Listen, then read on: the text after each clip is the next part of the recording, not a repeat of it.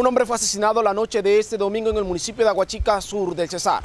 Se trata de Jaime Quintero Padilla, de 33 años, quien fue atacado en repetidas ocasiones con arma blanca, en medio de un hecho registrado en el barrio Villa, Paraguay.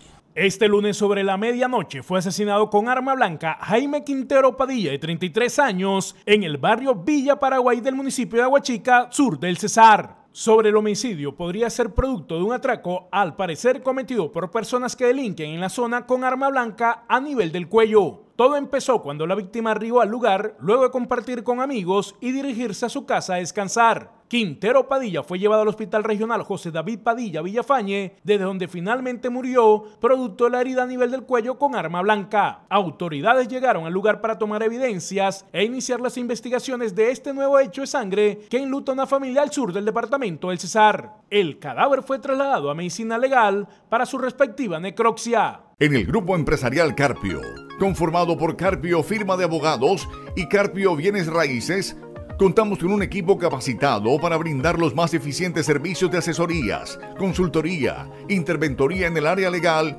así como el área de la administración de inmuebles.